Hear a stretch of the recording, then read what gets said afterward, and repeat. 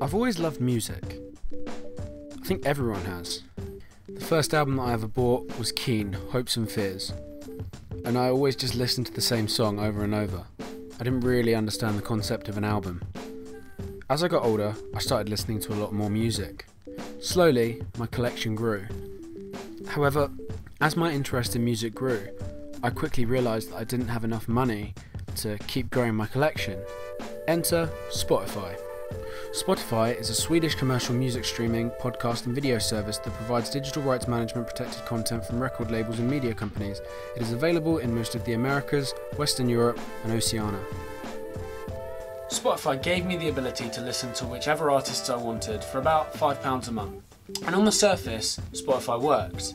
It was giving people an affordable way to listen to their favourite music, whilst also cutting illegal downloads, as there was now a cheap alternative. However, many claim that Spotify weren't paying their artists enough.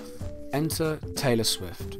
Taylor was quoted saying, I am not willing to contribute my life's work to an experiment that I don't feel fairly compensates the writers, producers, artists, and creators of this music. And so Taylor pulled her music from Spotify. Soon after, Tidal was born, in the interests of making things fairer. And now I would like to invite my fellow owners to join me in signing our declaration. Thank you so much for being here today. This is the beginning of a whole new era.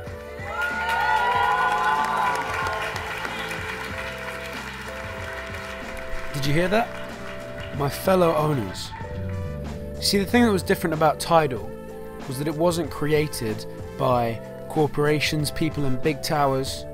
It was created by the artists themselves, right?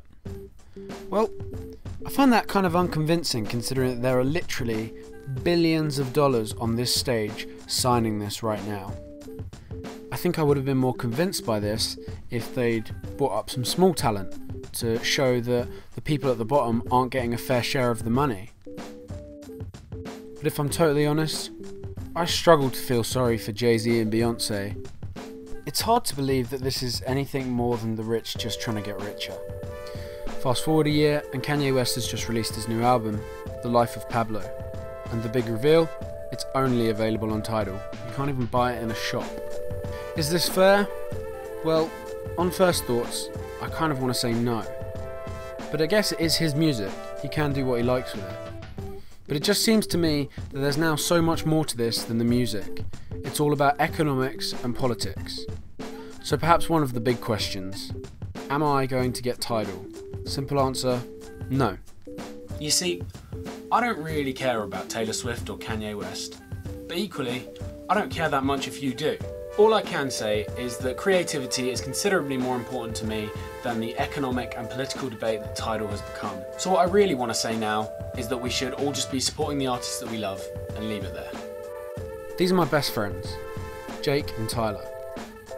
I wanted this to be a film about my issues with the music industry, but as I wrote it, it evolved into something much, much more. You see, these two, they bleed music. They love it. It's everything that they are. If you listen to the stuff that they create, there's so much passion that goes into it. And at the end of the day, I think that's all that really matters.